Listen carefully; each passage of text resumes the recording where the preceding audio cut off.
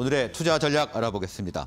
케이프 투자증권 최연기 투자전략팀장 연결돼 있습니다. 최연기 팀장 나와 계십니까? 네, 안녕하세요. 네, 안녕하십니까. 자, 간밤 미국 증시 그야말로 폭락 수준이었는데요. 먼저 어, 마감부터 정리를 해볼까요? 어, 말씀하신 대로 이제 전일 미국 증시는 이제 그간 아, 국내 증시가 연휴 기간 동안 뭐 휴장이었던 기간을 포함해서 뭐 4거래일 연속 그 상승했던 부분들을 뭐 상당 부분 어, 반납을 한 상황이고요.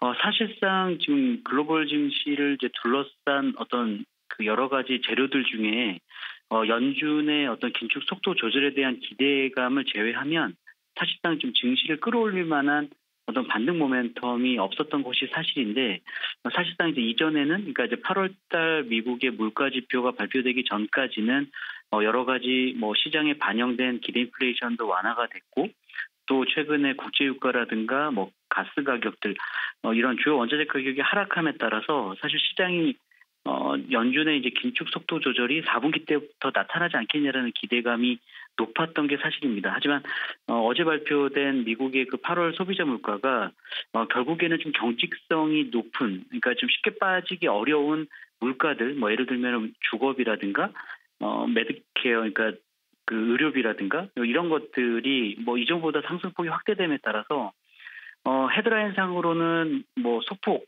뭐 빠진데 그쳤고 오히려 코어 CPI 같은 경우는 전월보다 상승폭이 확대가 됐거든요. 그래서 어, 시장의 예상치를 어, 상회함에 따라서 이제 그런 것들로 인해서 좀 어, 투자 심리가 크게 위축된 것이 아닌가라고 보고 있고요.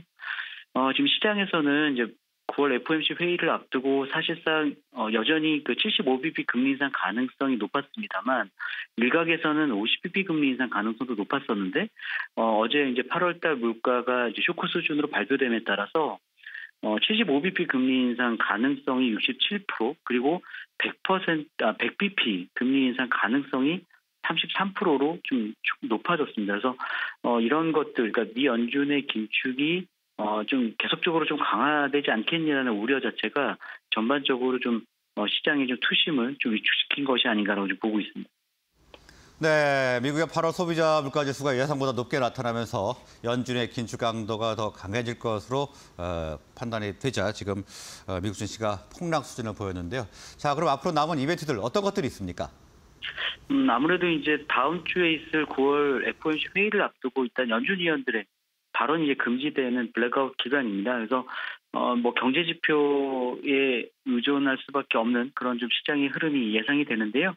어, 일단은 좀 시장의 긍정적인 어떤 재료로 사용될 그 재, 재료로 작용될 만한 이슈들은 많지 않습니다. 뭐, 뭐 미국의 뭐 8월달 뭐 PPI도 발표가 되겠습니다만 어, 뭐 전월보다 뭐 하락하는 것은 뭐 분명해 보입니다만 어, 소비자 물가처럼 상승폭의 그 둔화세가 좀 크게 뭐 확대가 되지 않으면 시장에 어, 좀 긍정적으로 작용하지 않을 것 같고요. 그 밖에 뭐 지역 여는 제조업 지수라든가 이런 것들을 여러 가지 실물 경제 지표는 오히려 이제 전월보다 하락하는, 그러니까 경기 둔화 우려를 키울 만한 어떤 좀 재료들이 좀 많이 어, 나타날 수밖에 없다라는 점에서 이번 주에도 어, 좀 시장의 변동성이 확대될 수밖에 없다라고 보고 있습니다.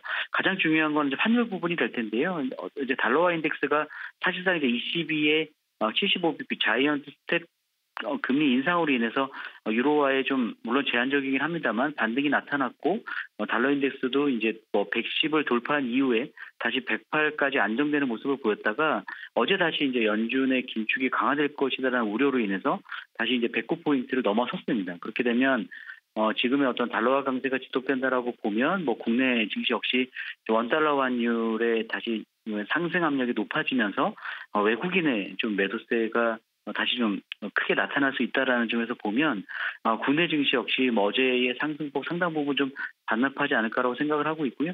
어, 그, 뭐 이번 주에도 여전히 좀 변동성을 대비한 어떤 스탠스가 좀 필요하지 않겠냐라고 보고 있습니다. 네, 앞으로 발표될 경제 지표와 환율 부분 잘 체크를 해봐야 될 것 같습니다. 자, 오늘 말씀 여기서 마무리하겠습니다. 고맙습니다. 예, 감사합니다.